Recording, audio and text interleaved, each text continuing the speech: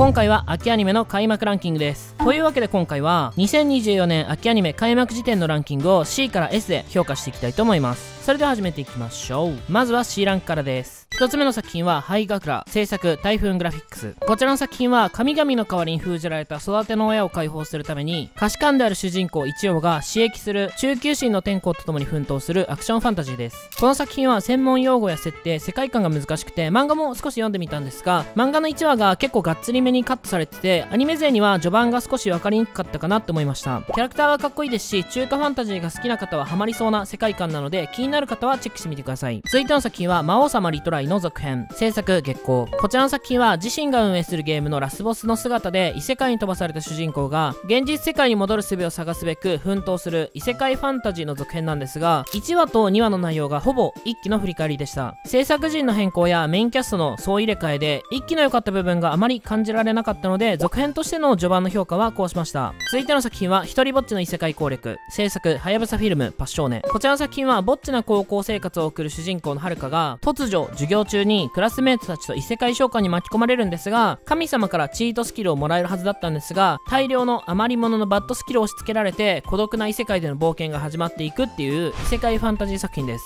こちらの作品はテンポが少しゆっくりなんですが作画は安定してますしキャラデザも可愛いですしカジュアルな雰囲気で気楽に見やすい作品かなと思います。タイトルにはぼっちとあるんですがハーレムコメディみたいな要素もあるので異世界ハーレムファンタジーコメディが見たい方におすすめです。はい C ランクはこちらです。次は B ランクです。続いての作品は妖怪学校の先生始めました。制作サテライト。こちらの作品はビビリでヘタレな新米教師安倍春明が妖怪だらけの学校に赴任したことから始まるヘタレ教師と妖怪生徒たちの日常を描いたコメディ作品です。生徒がみんな妖怪で個性豊かでいろんなキャラがいましてどんな生徒がいるのかなっていう楽しみもありますしコメディ要素強めで賑やかな作品なのでコメディ系が好きな方は見てみてください。続いての作品はパーティーから追放されたその中止。実は最強につき制作スタジオ L こちらの作品はパーティーを追放されたばかりの無能な中止。ラウスの前に舞踏家の少女ナルセーナが現れてパーティーに誘われたことで共に冒険することになる。主人公最強系のファンタジー作品です。この作品は2話で主人公が追放された過去回想があるので物語の進み方としてはちょっとゆっくりめになってましてタイトルに実は最強につきとあるんですが主人公の最強感も序盤では出てきてなくて戦闘もあっさりなので序盤のつかみとしてはちょっと弱めだったかなって思います。ここから主人公最強をどう描いていくのか続きが楽しみな作品となってます。続いての作品は天神さんちの縁結び。制作ドライブ。こちらの作品は身寄りがなくて養護施設で育った男子高校生が京都にある天神神社で居候することになるんですが居候の条件は婿養子として神社を継ぐことだったっていう話のミコさん姉妹とのハーレムラブコメです。この作品はちょっと攻めたシーンもあってヒロインたちも個性的でとても可愛いザ・ハーレムラブコメって感じで序盤から楽しく見れる作品です。ストーリーとしても3話の後半で続きが気になる展開があったので今後が楽しみな作品です。続いての作品は合コンに行ったら女がいなかった話。制作アシプロダクション。こちらの作品は大学の同じゼミの女子スオーさんから合コンに誘われて友達たちと待ち合わせの居酒屋に行ったら待っていたのはイケメン男装女子だったってとこから始まる男装女子とのラブコメディ作品です。ヒロインが男装しているんですが時折見せる女の子としての可愛さがいい作品で BL とはまた違う良さがある作品となってます。男装女子に振り回されてる男の姿が楽しく見れるので気になる方は見てみてください。続いての作品はさようなら流星こんにちは人生制作シナジー SP ベガエンターテインメント。こちらの作品は人間に打たれたサイコの竜が人間としての第二の人生を生き直す転生ファンタジー作品で1話から別々の道を歩んでいこうみたいな終わり方でめちゃくちゃ面白かったです。2話でもアジンの牛のお姉さんが自らの牛乳をくれたりっていうちょっと変わったお話があったり人間と魔物の種族間の問題などを描いた物語があったりで面白いですしのんびりとした雰囲気もいい作品なので今季まったり見れる作品をを探している方はこちらがおすすめです。続いての作品は魔法使いになれなかった女の子の話。制作 JC スタッフ。こちらの作品はオリジナルアニメで物語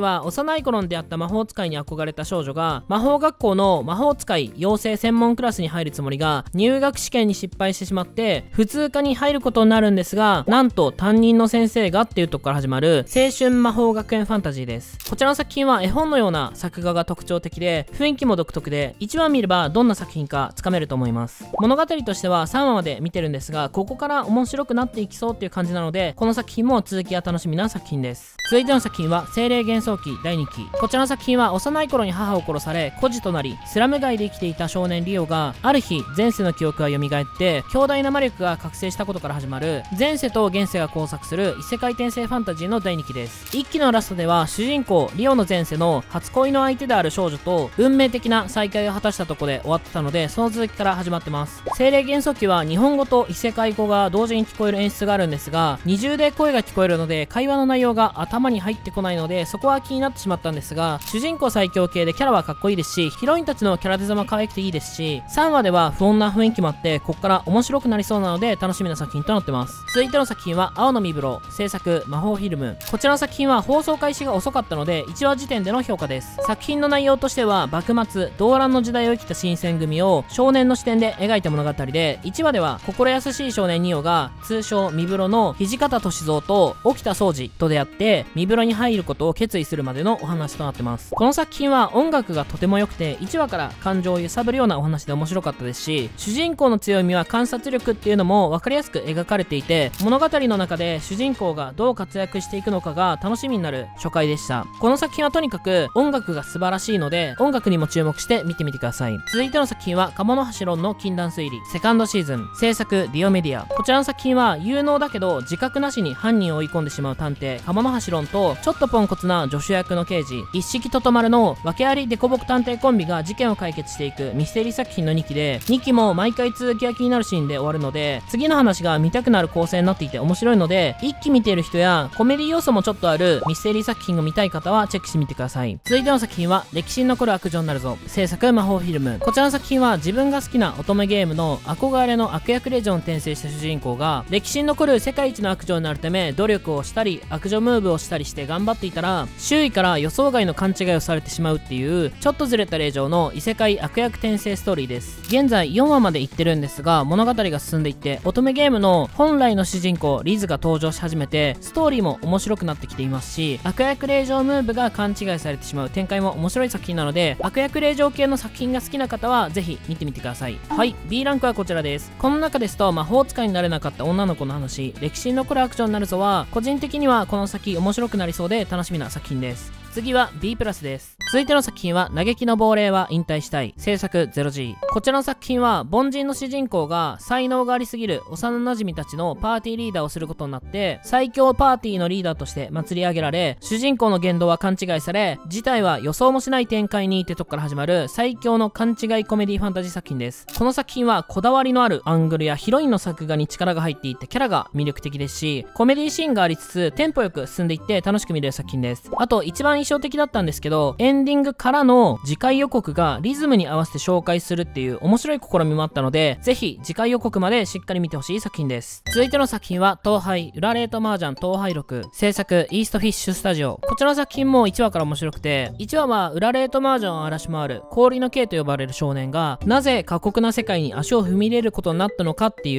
う裏社会に巻き込まれていくまでのストーリーが描かれてましていかさましようとする相手を主人公が頭脳で上回っていく東廃がハラハラして面白いですし序盤から大ピンチで続きが気になる面白さもあります。1話からこの作品の楽しむポイントなどが分かりやすく描かれていたかなと思うので気になる方はぜひ見てみてください。続いての作品は魔王2099制作 JC スタッフ。こちらの作品のジャンルはサイバーパンクファンタジーで物語は勇者との戦いに敗れた魔王ベルトールが転生魔法によって500年ぶりに復活して再び世界を支配しようと意気込むんですが未来都市でまさかの苦戦を強いられるっていうストーリーとなってます。よくある感じの魔王無双系作品かと思いきや1話から予想外の展開で驚かされますし2話で物語の方向性が見えてくるんですがそれもまた予想外で魔王が未来世界で奮闘する面白いストーリーが見れそうなので続きは楽しみな作品です。続いての作品はソードアートオンラインオルタナティブガンゲールオンライン第2期制作 A1 ピクチャーズこちらの作品はソードアートオンラインのスピンオフの2期で苛烈な戦いの末に幕を閉じたセカンドスクワットジャムの3ヶ月後のお話でサードスクワットジャムの開催が発表されてレン・ピトフーイ深次郎 M たちが新たなスクワットジャムに挑んでいくっていうとこから物語が始まってます。第1話はキャラの紹介もしつつ物語が始まっていく感じだったんですが相変わらず主人公たちキャラ可愛いですし3話の敵キャラ同士の戦いも熱くて面白い作品となってます。というわけでこちらの作品1期見てる方は2期もぜひ見てみてください。続いての作品は新テニスの王子様アンダーセブンティーンワールドカップセミファイナル。制作ナス。こちらの作品は新テニスの王子様アンダーセブンティーンワールドカップのシリーズ第2弾で戦いの舞台が準決勝になってかつての仲間手塚がいる世界ナンバーワンチームドイツとの戦いとなってまして相変わらずエンタメ性の高いスポーツ作品で楽しく見れるので見ている方は引き続きチェックしてください。続いての作品はありふれた職業で世界最強シーズン3こちらの作品は第3期で2期のざっくりめな階層を入れつつハウリア族のためはじめたちが帝国に向かう物語が始まっていくんですが3期も1話からキャラが魅力的ですし1話のラストも不穏な感情を出しつつ続きが気気になるようになっているので2期まで見てる方は見てみてください。続いての作品は最強の支援職話術師である俺は世界最強クランを従える。制作フェリックスフィルムガクル。こちらの作品は最弱と評される支援職話術師である主人公が英雄だった祖父に憧れて最強の座を手にするために仲間にクランの創設を提案するところから物語が動き出すバトルファンタジーで1話の後半では続きが気になる展開があってからの2話が面白くてクズな登場人物に容赦のない主人公がめちゃくちゃ良かったです。3話では魅力的なキャラクターも出てきたんですが個人的には2話の容赦のない主人公の感じの展開がめちゃくちゃ良かったので今後も容赦のない展開があることに期待してます。やり直し令状は竜帝陛下を攻略中。制作 JC スタッフ。こちらの作品は婚約者である王太子ジェラルドに無実の罪を仕立て上げられ生涯を終えそうになった軍神令嬢のジルが気がついたら6年前の夜に戻っていて破滅ルートを回避すべく奮闘する人生やり直し令嬢の大逆転恋愛ファンタジーです。この作品は結構シリアスな雰囲気から始まるんですが可愛いデフォルメやギャグがあったり物語としてもテンポが早めに進んでいくので見やすい作品です。主人公の前向きな姿勢や2話の締め方も良くて序盤から面白い作品だと思います。続いての作品はアクロトリップ。制作 Voil。こちらの作品は内気で夢中になれるものがなかった少女が魔法少女ベリーブロッサムと出会ってたちまち魔法少女に夢中になるんですが敵対する悪の組織がパッとしなかったため魔法少女をもっと輝かせるために悪の道に進む新新感覚悪落ちコメディです。魔法少女に憧れての設定に少し似てるんですがまほあこの過激な部分をなくした健全な感じでギャグが強めな作品となってます。主人公の限界オタク感とか悪の組織のポンコツ感とかとても面白くてわちゃわちゃしてて楽しい作品なので楽しく見れるコメディ作品が好きな方は今期はこちらがおすすめです。続いての作品は「ルローニケンシン明治剣閣ロマンタン郷土動乱」制作ライデンフィルム。こちらは2度目のアニメ化したルロケンの第2期です。2期では宗次郎とか出てきたり物語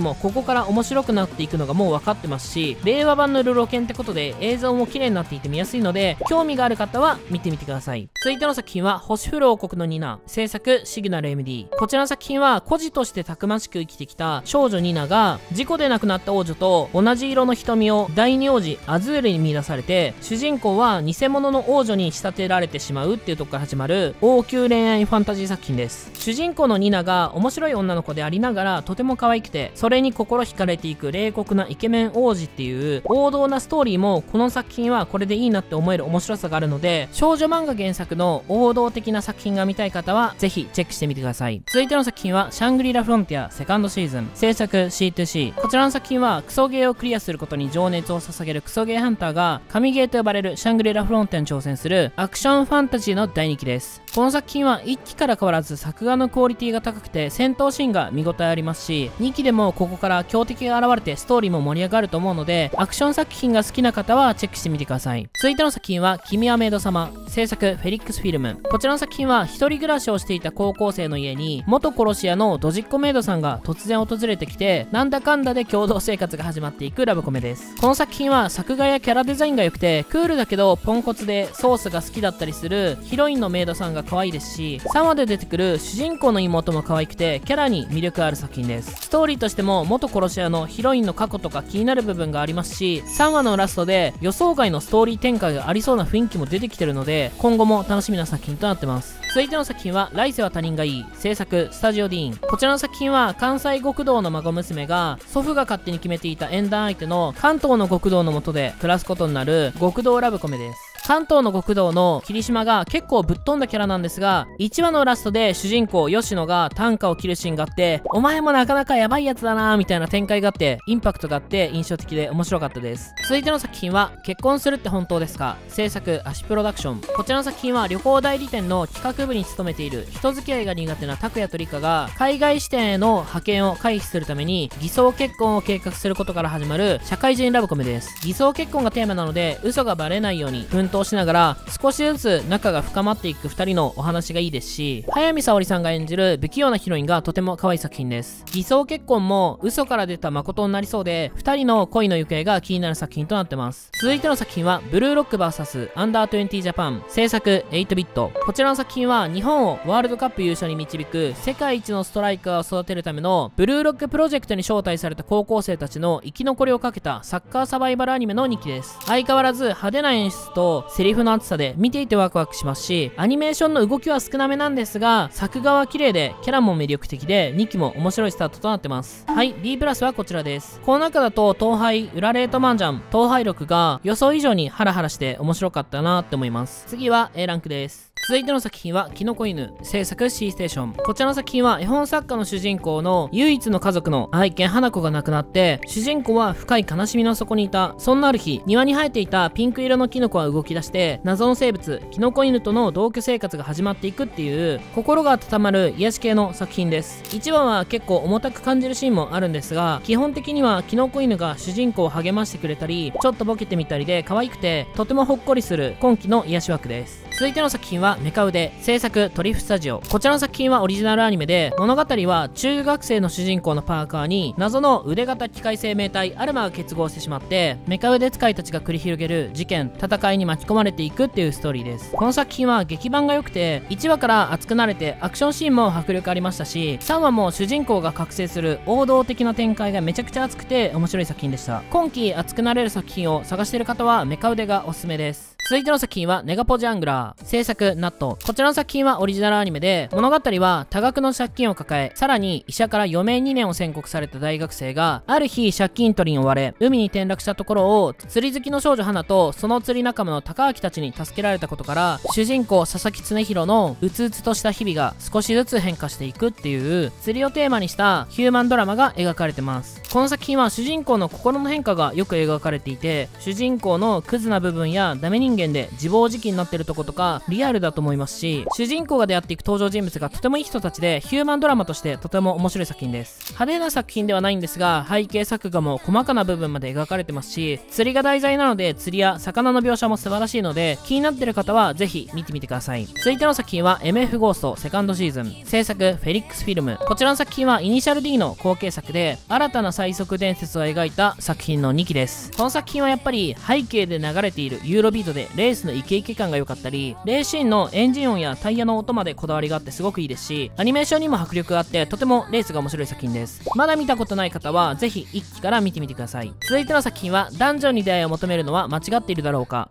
第5期制作 JC スタッフ。こちらの作品はダンジョンと称される巨大な迷宮を保有する迷宮都市オラリオで人をくぐり抜けてきた少年ベル君の冒険を描いたアクションファンタジーの第5期です。第5期は日常を取り戻したベル君のもとにシルさんから手紙が届き物語が動き出していきます。4期のシリアス展開と打って変わってギャグ多めで楽しく見れるスタートとなってますので断末を見てる方はチェックしてください。続いての作品はブリーチ。千年決戦編総国端こちらはブリーチの約10年ぶりの続編となるブリーチ千年決戦編の第3クールで27話からスタートしてます。ブリーチは第1クールから変わらず色使いや演出がおしゃれですし能力要素も見ててワクワクして面白い作品です。第2クールの続きなので戦闘シーンから続いてるんですが衝撃の展開で終わっていたのでいきなり面白いです。そしてなんといっても原作の他になっているアニオリもあってブリーチが好きな方はめちゃくちゃ満足できるアニメなのでぜひ見てみてください。続いての作品は株式会社マジルミエ制作萌え JC スタッフ。こちらの作品は就職活動がうまくいってない女子大生桜木かなが面接先で怪異と呼ばれる自然災害に巻き込まれて怪異と戦う魔法少女越谷を持ち前の記憶力で手助けしたことから魔法少女としての才能を見出され株式会社マジルミアに入社することになって社会人魔法少女としての日々が始まっていく異色のお仕事アニメです。こちらは魔法少女系の作品なんですがお仕事アニメとしての良さがある作品で会社で働く中で自分の意見が言えるようになっていく主人公の成長も描かれていて面白いですし変身シーンがかなり力が入ってますし戦闘も声優さんの熱い演技と音楽でしっかり盛り上がってお仕事アニメの良さと魔法少女作品の良さが両方とも活かされていて面白い作品となってます。続いての作品は天聖貴族鑑定スキルで成り上がる第2期制作スタジオマザー。こちらの作品は人の能力やステータスを見抜くことができる。鑑定スキルを持って異世界に転生したアルス主人公が隠れた逸材を見出し領地を強くしていく異世界ファンタジーの2期です。2期の1話の後半の展開面白かったですし4話ではいよいよ戦闘シーンもあったりでどんどん面白くなってきてるので1期見てる方はぜひチェックしてください。続いての作品は妻小学生になる制作スタジオサインポスト。こちらの作品は10年前に妻を亡くした愛妻家の主人公のもとにある日小学生の女の子が自分分は他界した妻だと現れるっていうとこから始まるハートフルヒューマンドラマ作品となってます。小学生の妻と愛妻家の夫そして娘家族の人生が再び動き出すストーリーが本当に良くて序盤から心揺さぶる家族愛あふれた作品です。他人の小学生の子供が妻っていう設定なので考えさせられるようなストーリー展開もあって面白い作品なのでぜひチェックしてください。続いての作品はトリリオンゲーム制作マッドハウス。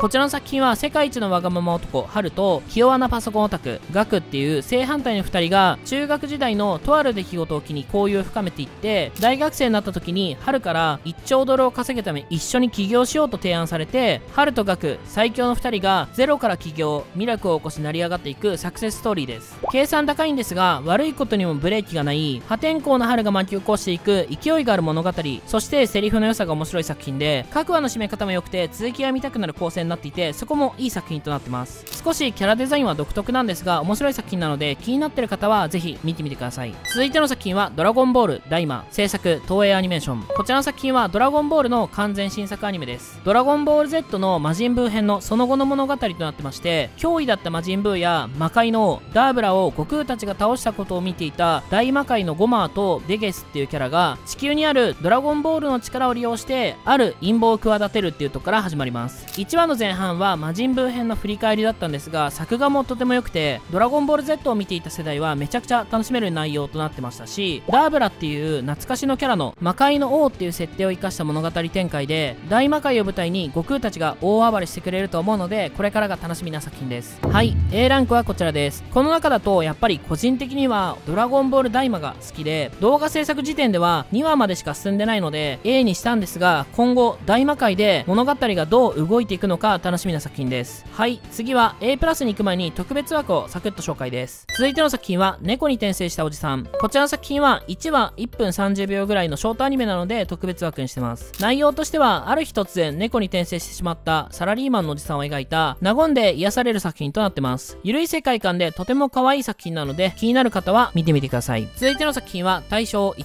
りブライダル。制作スタジオ放棄星こちらの作品は総量枠なんで特別枠にしてます。内容は冷血な軍人と孤独な霊場の結婚から始まる対象恋愛ストーリーとなってまして総量枠にしては硬派な感じから始まるんですがすぐにいつもの感じの展開になるので総量枠が好きな方はぜひチェックしてみてください。続いての作品は2.5次元のリリサ。制作 JC スタッフ。こちらは夏からの連続放送なので第2クール目です。この作品はコスプレラブコメで、まあ、キャラデザがいいんで登場人物みんな可愛いんですが第2クールで登場した新キャラのギャルも可愛くてストーリーもここから面白くなっていきそうで熱い青春学園作品として楽しめるのでまだ見てない方はぜひ見てみてください。はいでは次は A プラスです。続いての作品は、大井トンボ第2期、制作 OLM。こちらの作品は、島育ちで自由なゴルフを楽しむ少女トンボが、プロゴルファー五十嵐と出会って成長していくゴルフ作品で、2期の1話は総集編的な1期の振り返りだったので、2話から本格的に物語が動き出してます。天真爛漫なトンボが、いろんな人たちと出会って成長していくストーリーや、トンボの自由なゴルフに登場人物が驚かされていく展開が見ていて楽しい作品で、人間ドラマもしっかり描かれている良作なので、気になる方はぜひ見てください。続いての作品は青の箱制作テレコムアニメーションフィルム。こちらの作品は中高一貫のスポーツ強豪校の男子バドミントン部の1年生猪本大輝が毎朝朝練でいつも顔を合わせるバスケ部次期エースの2年生鹿野千夏に恋をしていたんですがある事情から大輝と千夏の距離が急接近することになる青春作品です。この作品は作画がとても良くて臨場感がある。カメラワークがあったり見せ方もとても良かったですし音楽の使い方も良くて1話から青春をめちゃくちゃ感じてて面白い作品です。眩しすぎるぐらいの青春を感じれる作品なので青春作品が見たい方は今期青の箱を見てください。続いての作品は夏目友人帳7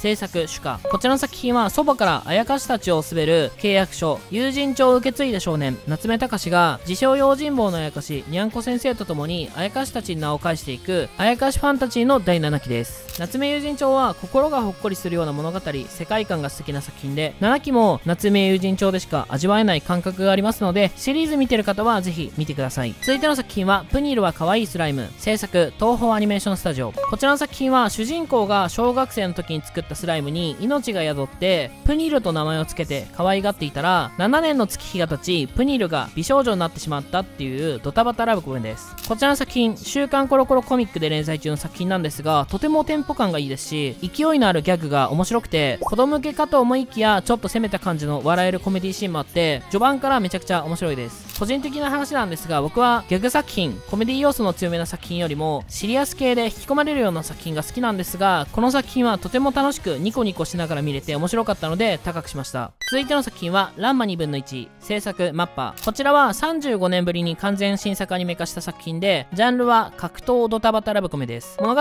は中国で修行中に受選鏡という泉に落ちてしまい水に濡れると女の子になってしまう得意体質になってしまった高校生格闘家早乙女ランマが親が決めた言い名付けの天童茜がいる天童家に居候することになって学校や天童家でのドタバタ日常が始まっていくお話となってます。ランマ2分の1は再アニメ化するにあたってコンプラ的な問題があったのでマッパさんがどういう風にランマのマッパを描くのかなって思っていたらまさかの大事なとこは描かないっていう形で個人的には白い霧で変に隠すよりはこの方が見やすくて良かったかなって思いました。今作は旧作よりテンポが速くなっていて旧作の3話までの内容を2話で描いてるのでサクサク進んでいきますし演出が今時になっていて原作の古さを感じさせない再アニメ化でむしろ新鮮に感じますし続投した声優さんの演技も素晴らしくてまさに令和の乱までとても面白い作品なのでぜひ皆さん見てみてください。はい A プラスはこうなりました。S ランクに行く前にチャンネル登録高評価 X のフォローをよろしくお願いします。あと皆さんがハマっている作品や秋アニメのおすすめがあればコメント欄にお願いします。はいでは次は S ランクです。続いての作品はリ・ゼロから始める異世界生活サードシーズン制作ホワイトホックス。こちらの作品は突如異世界に召喚されてしまった少年夏木すばるが死ぬと時間が戻る死に戻りの力を駆使して過酷な運命に抗う異世界ファンタジーの3期で3期は2期の聖域の解放から1年後からスタートします。3期の1話は90分あったんですが新キャラも登場して1話の後半ではリゼロらしいえぐくて絶望感のある演出や展開からのエンディングまでの流れがめちゃくちゃ良くて1話を90分にしたことで面白さが最高潮の状態で2話につながっていってリゼロが好きな方には最高の3期のスタートになってます。ちなみにリゼロの3期は襲撃編8話と反撃編8話で放送です。続いての作品はダンダダン制作サイエンスサル。こちらの作品1話からとても面白いのでおすすめです。ジャンルは青春オカルティックバトル作品で物語は幽霊は信じるんですけど宇宙人否定派のモモと宇宙人は信じるんですけど幽霊否定派のオカルンがオカルトスポットに行ったことから怪奇現象に遭遇してとんでもないことになってしまうってとこから始まります。1話からちょっと大人なネタをぶち込んできて笑える楽しさがあって面白かったですしなんといっても制作会社サイエンスサルさんの作画アニメーションのこだわりがすごいくて背景作画についても鏡の反射など細かな部分まで描かれていてサイエンスサルさんならではの映像表現が素晴らしいスタートでした。キャラの掛け合いや演出の良さ見せ方のうまさがあって序盤からとても面白くて現在3話まで進んでるんですが4話の展開も非常に楽しみな作品です。というわけで秋の新作アニメで個人的にはこちらダンダダンがおすすめです。続いての作品は地地球の運動について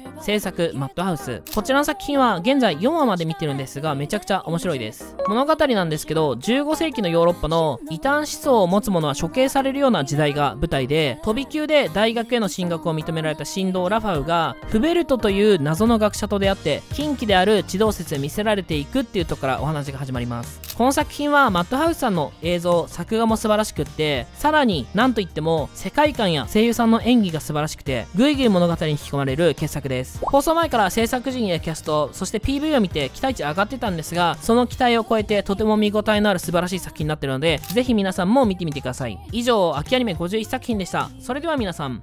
またね。